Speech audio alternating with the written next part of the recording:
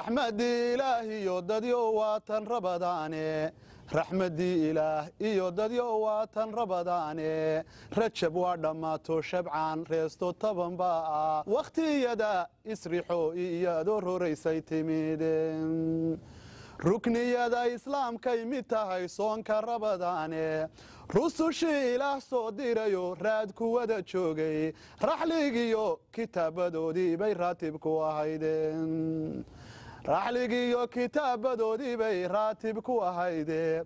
Innagana rabbaynoo qadaray soonka rabadaano. Rukniyada islaamkay mid tahay soonka rabadaane ruuxii cuntada raamsadoo diida rabadaanta. Ruuxii cuntada raamsadoo diida rabadaanta.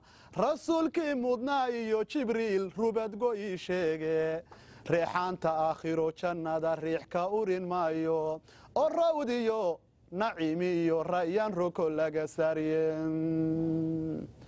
qofkii sooma rabadaan rabbi buu raalligeliyaaye qofkii sooma rabadaan rabbuu raalligeliyaaye rasuulkii abuqaasim buu dhabu rumeeyaaye rabbi baa jeclaadoo jannadu riix ka uriyaaye.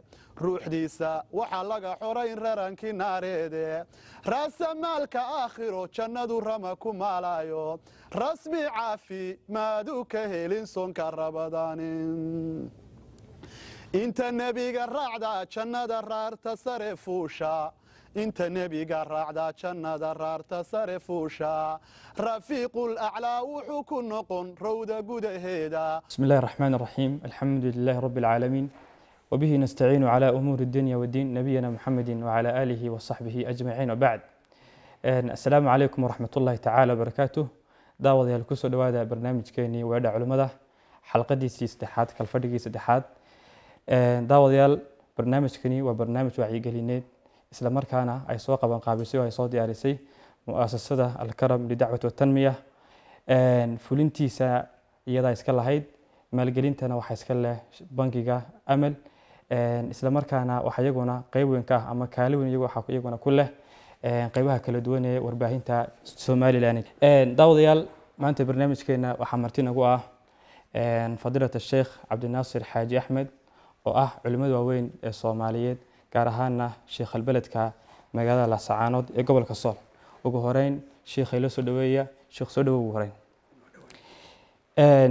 Ciwaanka maanta barnaamijkeena ama kalfadhigeenani waxau yahay diinta islaamku maxay kaga duwan tahay diimihii ka horeeyey ee kale maxay leedahay khasaais khasaa'ista u gaarka maxay tahay mumayizaadka diinta islaamka iyaduna ay leedahay maxay tahay? Mawduucaas baynu caawa sheekha marti uga nahnay شيخ بالموضوع عاس يوفى فاهنتيسا تفضل شيخ أعوذ بالله من الشيطان الرجيم بسم الله الرحمن الرحيم الحمد لله رب العالمين والصلاة والسلام على سيد المرسلين وعلى آله وصحابته والتابعين لهم بإحسان إلى يوم الدين وبعد إسلامكو إلهي سبحانه وتعالى ومن يقلد إلهي أمد أوسيي ونحريس وهنون إلهي سبحانه وتعالى بلشدة بني آدم وصودري qur'aankana alle wuxuu ku leeyahy laqad mana allaahu cala almu'miniina id bacaa fiihim rasuula min anfusihim yatluu calayhim aayaatihi wayuzakiihim wayucallimhum alkitaaba walxikma wain kaanuu min qabl lafii dalaalin mubiin. Alle subxaana wa tacala ayadda wuxuu ku qeexayaa inuu ilaahay u soo diray bashariyada nebiyullaahi moxamed salawaatu ullahi wasalaamu calayh isagoo rasuulku baraya kitaabkii qur'aankaabuu baraya kitaabu ku dul akhriyaya waa taskiinaya waa tahiraya iyadoo bulshadu ay ahayd markii hore ummaddu caalamku baadinimo ay ku sugnaayeen. Waxaynu ka hadli doonaa insha allahu khasaa'ista islaamku uu leeyahay ama mumayizaadka uu leeyahay way badan karaan laakiin ilaa lix qodob baynu isku dayay inaynu ku soo koobno. Qodobka koowaad waxaa weeye islaamku alrabbaaniya sifa layaha buu leeyahay rabbaaniya alrabaaniya macnaheed waxa weeyaan rabbi baa loo aaneeyey oo waxa weeyaan xagga manhajkana waa rabbaani oo ilaahay subxaanahu watacaala xaggiisa ayuu ka yimi. Xagga wijahada iyo haayada uu ku dhammaanayana waa rabbaani oo xaggaaluu ku dhammaanaya. Rabbaaniyatulmasdar baa la yidhaahdaa oo maaha diintani bani aadam iyo makhluuq waxba kuma leh. Bani aadamku wuxuu saamayn ku leeyahay ama uu ku darsaday ma jirto ee waa diin ilaahay subxaana wa tacala hay ka timi. Qof bani aadam wax kuma darsan qabiil wax kuma darsan dowlad wax kuma darsan gobol wax kuma darsan xisbi wax kuma darsan cid bani aadamna wax ku darsatay ma jirto. Waa shay ilaahay subxaana wa tacaala xaggiisa ka yimi waa doonista ilaahay uu doonay inuu bashariyadan u soo diro kitaabkan. Waxaa ilahay qur'aankiisa ku leeyahay yaa ayuha annaasu qad jaa'atkum mawcidatu min rabbikum wa shifaaun lima fi suduur wa hudan waraxma dad yahu waxaa idiin timi mawcido waana idiin timi. Waa waano iyo fariin culus oo xagga alla ka timi min rabbikum bay ka timi. Waa kitaab hanuuna waa kitaab naxariis ah. Marka ilaahay subxaana wa tacala xaggiisu ka yimi nusuusta ku soo aroortay macnahaasoo kale qur'aanka aad bay ugu fara badan tahay. Waxaa ka mid a marka qaarkood alla wuxuu ka cabirayaa burhaan baa laga cabirayaa lagu sheegayaa. Mar waxaa lagu sheegayaa nuur. Yaa ayuha annaasu qad jaa'akum burhaanu min rabbikum waanzalnaa ilaykum nuuran mubiina dadyo waxaa idiin yimi ee waxaa la yidhaahdo xuja idiin timi waxaa laidinku soo dejiyey nuur cad baa ilaahay subxana watala xaggiisa idinka yimi marka kitaabkaasi waa kitaab manhajkiisu yahay manhaj rabbaani ah oo xagga ilahay ka yimi manaahijta maanta adduunka yaalla waa saddex qaybood saddex qaybood weeye qaybi waa shay bashari maxdi oo bani aadamku ay samaysteen oo falsafe iyo afkaaro bani aadamku ay samaysteen sida hanti wadaagga sida hantigoosadka ashuuciya arasmaali waxa la yidhaahdo. Bani aadam baa samaystay waa nidaam dadku ay haystaan. Midi waa nooc basharigu ay samaysteen laakiin diin looga jeedo sida buudiyada oo kale oo yahuudda iyo nimanka leeyahay baan leeyahay hindiga iyo jabaanka iyo chiniiska ay caabudaan. Waa manhaj bani aadamku sameeyey laakiin cibaadi uga jeedaan ilahay ku caabudeen buudiya. Kaasna waa qaybka labaad qaybta saddexaad waxa weeyaan waa manhaj marka hore xagga alle ka yimi laakiin la taxriifiyey oo rag ay bedeleen oo nasaarada iyo iyo yahuudda kitaabadii loo soo dejiyey waa la bedelay. Waxay haystaan ay hadda diin ka dhiganayaan waa wax bani aadamku sameeyey. Xataa waad arkaysa marka qaarkood magacaantii anaajiish oo kale raggii sameeyey ayaa lagu magacaabay injiil barnaabo injiil luuqa injiil mata injiil yuxana waxaasoo dhan waa asmaa raggii qoray kitaabada noocaasa. Marka wuxuu kaga duwan yahay islaamku waxaa adduunka lagu hayo o dhan waa manhaj ilaahay subxaana wa tacala xaggiisa ka yimi dhan kale marka laga eego rabbaani buu yahado wuxuu kugu xidhayaa. Ilaahay subxaana wa tacala buu kugu xidhayaa. Oo addoonku wuxuu rabbigii ka sugayaa ka rajaynayaa in uu raalli ahaansho ka helo. Oo bani aadamku wuxuu ku dhammaanayaa shariga khayr wuxuu ka shaqeeyaba ilaahay xaggiisa yaa ayuha alinsaanu innaka kaadixun ilaa rabbika kadxan famulaaqiih qafyow bani aadamkii waad halgamaysaa waad tabcaysaa ilaad rabbiga la kulanto marka kadaxaaga iyo hawshaadu waxqabadkaagu halgankaagu wuxuu ku dhammaanaya geeri famulaaqiihna waxaad la kulmaysaa camalkaagii shariga khayr wuxuu ahaaba marka nihaayadu halka waa ina ilaa rabbika muntaha waa kala yidhi subxaana wa tacaala waxa weeyaan halkaasaa lagu dhammaanaya rabbaaninimadaas waxay keenaysaa in qofku markuu manhajka rabbaaniga haysto uu ku xoroobo inuu makhluuq caabudo ama naftiisa caabudo uu ku xoroobaya wuxuu ka xoroobayaa naftiisu in la hantiyo oo dad kale ay markaa maamushaan ka xoroobaya wuxuu ka xoroobayaa uu garanayaa may uu fahmaya muxuu nool yahay buu fahmaya qodobka labaad waxa weeyaan risaaladan waa risaala caalamiya. Waa risaala caalamiya oo ilaahay subxaana wa tacala u soo diray aadana oo dhan cid kastoo bani aadam ah midab kasta ha lahaado meel kastaba ha deganaado. Maxaan ku dhahdaa gobol kasta ha joogo caalamka oo dhan baa ilahay u soo risaadan ilahay baa qur'aankiisa wuxuu ku leey wamaa arsalnaaka ilaa kaafatan linnaasi bashiira wanadiira yani waxaanu kuu soo diray khalqiga oo dhan baanu kuu soo diray inaad u bushaarayso inaad u digto qul yaa ayuha annaasu inii rasuulu llaahi ilaykum jamiica marka ilahay wuxuu u soo diray aadana oo dhan baa ilahay u soo diray nabiyullaahi maxamed iyo risaalatan marka caalaminimadu ama cumuumkeedu wuxuu shamlinayaa oo gaadhayaa zaman kasta.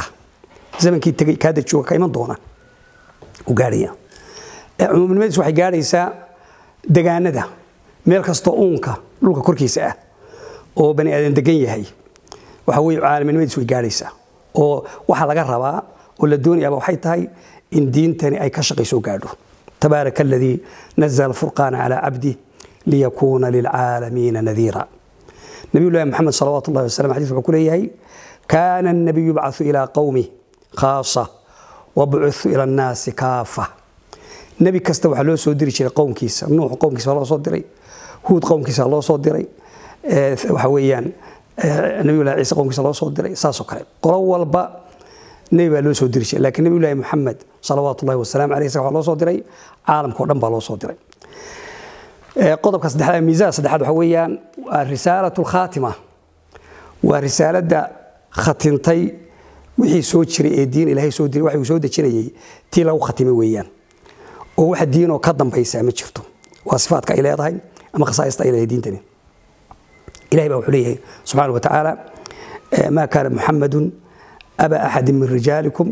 walaakin rasuula allahi wa khaatama annabiyiin alla subxaana wa tacaala wuxuu ka dhigay rasuulka khaatama annabiyiin ambiyada kii khatimay walidaalika waxaad arkaysaa rasuul kasta oo ilaahay u soo diray qowm wuxuu u sheegayey risaaladda nebiyullaahi maxamed ee lagu khatimay dhambaaladii iyo fariimihii ilaahay soo dirayey waxaa ka mid ah xigay rasuulka waid qaala ciisa bnu maryam yaa banii israa'iila inii rasuulullahi ilaykum musadiqan limaa bayna yaday min altawraati wamubashiran birasuulin yaatii min bacdi ismuhu axmed falamaa jaahum bilbayinaati qaaluu hada sixru mubiin waxaan idinku bushaaraynayaa rasuul aniga dabada ima doona oo magaciisa axmed la yidhaahdo saasaa markaa rasuul kastaba uga hadlayey risaalada inay tahay ta u dambayso loo sheegayo ee qowmkiisii markay saa tahayna way dhammaystiran tahay. Ee wixii bani aadan u baahnaa makhluuq wax u baahnaa o dhan la dhammaystiray. Ila waa tii lagu akmaltu lakum diinakum wa calaykum nicmatii waradiitu lakum alislaama diinan. Waa kaa ihi subxana watala marka waa la taam yeelay waa dhammaystiray. Nicamtii waa loo dhammaystiray. Marka waa risaaladii ugu dambeysay wixii ilaahay subxana wataala soo diriyey. Ghazwa tabuuk rasuulku salawaatu ullahi wasalaam caleyh duulaankiisii saxaabiga lo odhan jiray cali bn abi aalib ayaa wuxuu uga tegey meesha la yidhaahdo madiina munawara markaasuu yii rasuulka ilaahadow ma dumarkii caruurtii baad iga dhex tagtay? Isagoo marka haddii aad u doonaya dagaalka iyo jihaadka inuu qayb qaato. Rasuulku wuxuu yihi salawaatu ullahi alaa tarda an takuuna minii bimansilati haaruuna min muusa ila annahu laa nabiya bacdii miyaadan ka raali noqonayn inaad nabiyullahi haaruun booskii muuse u joogay inaad noqoto laakiin nebi aniga iga dambeeya ma jiro ayuu rasuulku salawaatu ullahi wasalam caleyh mar haddii nebi ka dambeeya aanu jirinna macnaheedu waxa weeyaan ma jiro risaalad ka dambaysa risaaladii nabiyullahi maxamed salawaatu ullahi wasalaamu caleyh tilmaanta afraad risaaladani waxay ku gaar tahay inay tahay mid ilaashan oo la ilaaliyey oo aan bani aadan lagu dayn ilaalintiisa ee ilaahay subxaana wa tacaala baa ilaaliyey in wax lagu ziyaadiya baa laga ilaaliyey qur'aanka kariimka. Ah in wax laga nuqsaamiyo ayaa laga ilaaliyey. Ilaahay baa subxaana wa tacala ilaaliyey. Sida qur'aankiisa ku leeyahay innaa naxnu nazalna adikra wa innaa lahu la xaafiduun annagaa soo dejinnay waxyigan. Annagaana ilaashanayna ayuu leeyahay alla subxaana wa tacaala marka waa ilaashanya qur'aankani taarikhdaa dheer uu soo jiray. Sidii sidii ilahay ugu soo dejiyey nabiyullaahi maxamed baynu u haysanaa qur'aankii oo aan xaraf lagu ziyaadin oo xaraf laga bedelin ina aladiina kafaruu bidikri lama jaa'ahum wainahu lakitaabu casiiz laa yaatiihi albaaطilu min bayni yadayhi walaa min khalfih ibnu jariir oo kale markuu fasirayay laa yaatiihi albaaطilu min bayni yadayhi walaa min khalfih wuxuu leeyahay cid isku dayi karta cid samayn karta inay kaydkeeda iyo dhagarteeda wax ka bedasho qur'aankan ama wax ku kordhisa la heli maayo sidaa uu qur'aanku u ilaashan yahay oo masdarka koowaad uu yahay oo loo ilaaliyey baa sunnuhuna oo waxyigii ah isaguna uu isaguna u ilaashan yahay. Oo marka alla uu leeyahay innaa naxnu nazalna dikra wa innaa lahu la xaafidu dikriga waxaa soo gelaya sunnihii baa soo gelaysa sunnihii rasuulka salawaatu ullahi wasalaamu caleyh waayo sunnuhu waa waxyi maa yandiqu can ilhawa in huwa ilaa waxyun yuuxa baa ilahi subxana wa tacaala marka rasuulku sunnaha loo soo dejiyo axaadiida ahi waa waxyi xagga alle ka yimi. Sunnuhu markaa wuxuu fasirayaa. Qur'aankii buu fasirayaa. Qur'aankii meeshii ijmaal ku jira buu caddaynaya. Meel u baahan maxaan ku dhahay caama buu khasisaya hadduu doono. Xukun ziyaaduu la imanaya marka iyaduna way ilaashan tahay oo ilaahay baa subxaana wa tacala ilaaliyay wuxuu ku ilaaliyey marna saxaabadii baa xifdisanayd oo laabtii ku sitay ilaa tadwiinkii yimi iyo qoraalkii la qorayay sunnaha marna ilaahay wuxuu u saaray rag muxadisiin ah oo aan waxba ka hoos baxaynin oo cilmiga rijaasha iyo baabka jarx wa tacdiil si fiican u yaqaana oo ninkii isku daya inuu xun ku soo dhex daro si yar loo soo qabanayo. Marka iyaduna waxay way ilaashantahay laakiin diimihii hore o dhan lama ilaalinoo dee dad baa loo daayey. Mastuxfiduu min kitaab illahi waa kaa la yidhi wa tacaala iyagaa loo daayey si naskhi u yimaado oo ay u bedesho marka qur'aanku uu bedelo waxyaabaha miisada ay leedahay oo la goonita waxaa ka mid ah shumuul shumuul macnihiisu waxa weeyaan risaaladani waxay koobaysaa oo gaadhaysaa majaalaadka nolosha oo dhan bay gaadhaysaa fardiga iyo jamaacada. Majaalka nolosha ay ka shaqeynaya o dhan bay gaadhaysaa. Hadday tahay caqiido waxa qofku caqiidaysaya bay ka hadlaysaa risaaladani. Ilaahay rumayntiisa wixii aaminsanaan la yidhahdo dhan oo aakhira iyo adduun wax jira iyo mowqifkaad ka qaadanaysaa qur'aankan kuu caddeeyey oo waxay ka hadlaysaa jaanibka cibaadaadka bay gaadhaysaa. Ama cibaada badaniya jirka wax laga sameeya haato oo salaaddii wixii la halmaala ama cibaada maaliya oo zakadii haato way gaadhaysaa oo shumuulkeedu meel kastuu taabanaya. Oo wuxuu taabanayaa dhanka bulshada qoyskii taabanaya. Oo qoysku wuxuu ku noolaya reerku noloshu ku noolaanayo ayaa diintu ay taabanaysaa. Oo qaabka nololeed ee guriga qoysku noolaanayo bay ka hadlaysaa.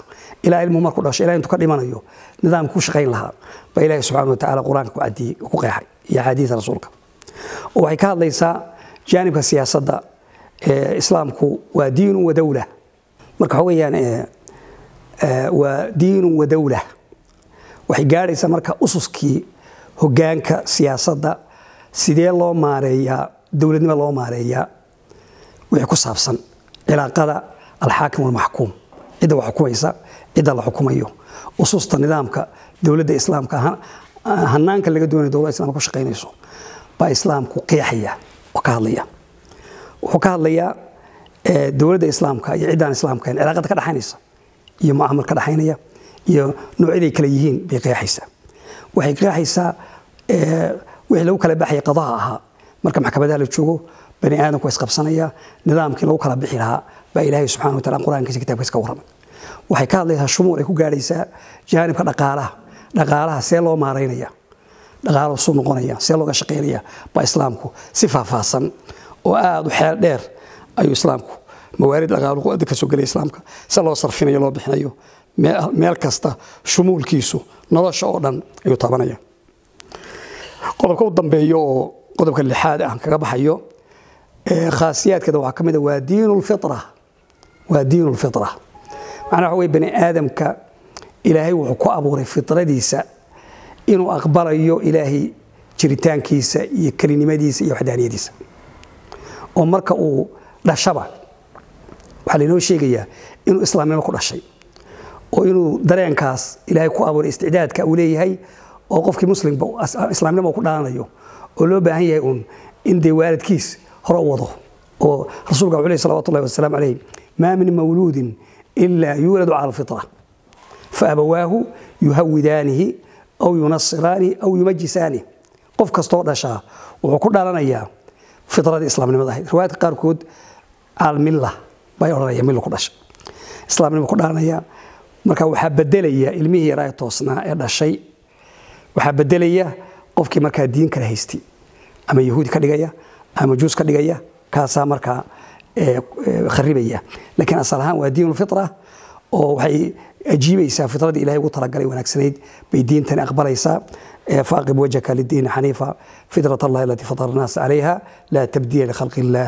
dalika الdiin اlqayim billahi towfiiq subxaanaka allah waxamdika ashhadu an laa جزاك الله خيرا وبارك الله فيك واحسن الله اليك شيخ عبد الناصر ilaahay miisaanka xasanaadka kugu daro sida wanaagsan u faahfaahsan barnaamijkaas aad laga wadaagtay haddii sheekh su-aalan kaa weydiiyo mawduuca laftirkiisa waa ina su'aal in badan la in badanna aad ku arkaysid baraha bulshada kala duwan qaybihiisa kala duwan. Su'aashaasi sheekh waxay oranaysaa.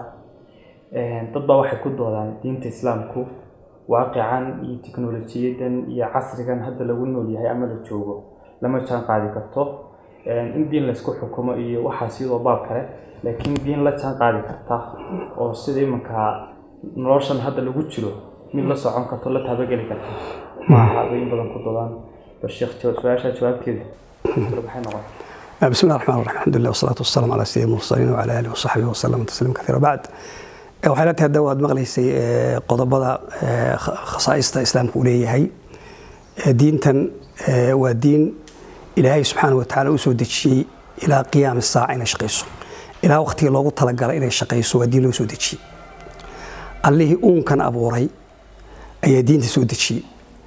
Allihii maslaxaddan bani aadamka siisaba ayaa yaqaana maslaxadda bani aadamka waxaa yaqaana allihii abuuray oo dadka gaala iyo muslim waa laysla yaqaanaa ilaahay subxaana wa tacaala jiritaankiisa. Marsi waa arkaya ilaahay subxaana wa tacaala jiritaankiisa inuu adduunkan abuuray wax badan waa laysla garanaya. Marka ciddii abuurtay adduunka kan ayaa maslaxadda qofkan garanaysa. Allah isagaa abuuray bani aadamka. Wixii munaasib u ahaa buu soo dejiyey. Diin shaqayn karta. Oo mar haddaynu ka hadalnay jawaanib kasta oo nolosha inay ka hadlayso oo qawaacid ay ku shaqaynaysa fara badan oo xitaa casri walba la shaqaynaya. Oo culamada ijtihaadka iyo masaa'il fara badan oo xitaa haddii masaa'il casri ay yimaadaan nawaasil la yidhaahdo oo daliil uga helaya maaragtay sharciga islaamka ayaa buuxa. Marka waa diinta keliya aan odhan karaa wax kala hagi karta adduunka kan. Waa diinta keliya kala hagi karta waxa weeyaan nusuusta qur'aanka markaad eegto caqliga markaad eegto waxa weeyaan ilaahay subxaana wa tacaala isaga ayaa bani aadamka horta wax cusub ma soo kordhin. Dadka in la weydiiyaa ku habboon marka hore waxaan isweydiinaynaa horta maxaa cusub. Dadku soo dadkii maaha bani aadam cusub miyaa jooga meeshatan? Bani aadamku waa bani aadamkii dadku waa dadka dhulku waa dhulkii. Farsamada technologiguna waa waa wax aalo qofku uu sameeyey. Aaladu shayna waxbaa jiray. Maantana waxbaa jira. Marka bani aadamkii waa isagii manhajkii warkii hore lagu dhaqeeyey waqtigii salaf iyo saxaaba islaamka ka dhaqeenna waa inoo yaallaa. Marka waxaan dadkaas hadda wax daliilahoo ay maanta haystaan oo yani ama caqlan wa sharcan waxaan is leeyahay heli maayaan. Waayo wax kasta way dhamaystiran yihiin shareecada in la bartun baa muhiima. Qofka haddaanu diintii garanayn ama dad qarad le baa laga yaaba inay danahan arrimaha noocaas ka hadlayaan. Laakiin marka xaqiiqada dhabtaa loo galo gaalada nafteeda ictiraafaysa rag badan markaad akhrido wax aqriyey wax qoray oo islaamka daraasiyey waxay ka qirayaan in barnaamij nin la jiro ingiriis wuxuu yidhi haddii maxamed soo bixi hadda mushkiladda caalamka oo dhan koob shay inta laga cabo ayuu xalin laha buu ku leeyahy mushkiladda caalamka o dhan. Marka gaalkii wax akhriyey waa nin gaal ah. Markii daraasa uu sameeyey waa fara badan yihiin. Kuwa badan oo soo islaamay baa jiro oo markay daraasa ku sameeyeen islaamkan. Qaab nololeedka dhinac walba marku cilmigan casrigan waxaan soo korrayay o dhan islaam waa ka hadlaya oo sanuurihim aayaatina fi laafaaq wa anfusihim xataa yatabayana lahum annahu alxaq waxaanu ka tusaynaa aafaaqda kownka waxaanu ka tusaynaa aayaadkayga aanu tusaynaa iyo naftooda. Diinta inayna xaq tahay ilaahay inuu xaq yahay jiro baanu ka tusaynaa. Wax fara badan raggii daraasay cilmiga daraase ku sameeyey way dareemeen ama cilmiga badaha waxaa aad uga hadlay ninka la yihahdo cabdilmajiid oo kale. Si aada buu uga hadlaa dadkan maaragtay culumtan casriga ah iyo siday kugu ziyaadinaysa iimaan iyo shareecada ku inay keeni karto. Marka loo guro marka waxaan hadalkaas hadal aan booshkiisi haysan baynu odhan karnaa wallah subxana tacaala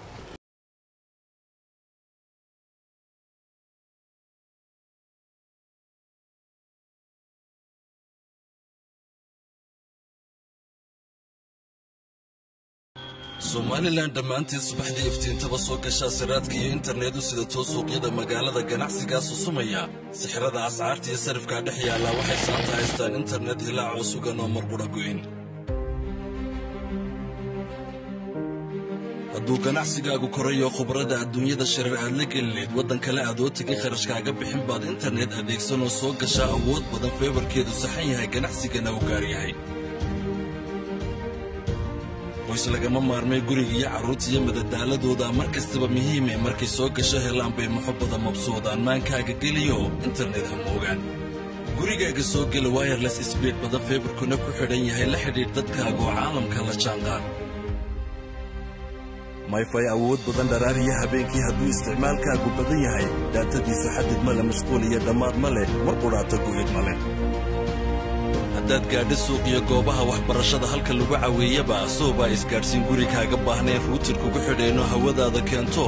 Kugu tidhi wayfaygaaga furo oo isticmaalla dabadeed. Hotsbot sbiil badan soo soo gasho waa shirkadda koowaad ee somalilan hogaaminaysa isgaadhsiinta internetka faibar optiga ka ganacsiga iyo ka guryaha iyo dhammaanba adeegyada kala duwan ee shirkadda sow ay bixiso internet awood badan oo faibarka ah wax ku baro ku daawo ku ganacso ku iibso ku iibi kuna ciyaar isticmaal mar walba iyo meel walba tayadu waa awoodee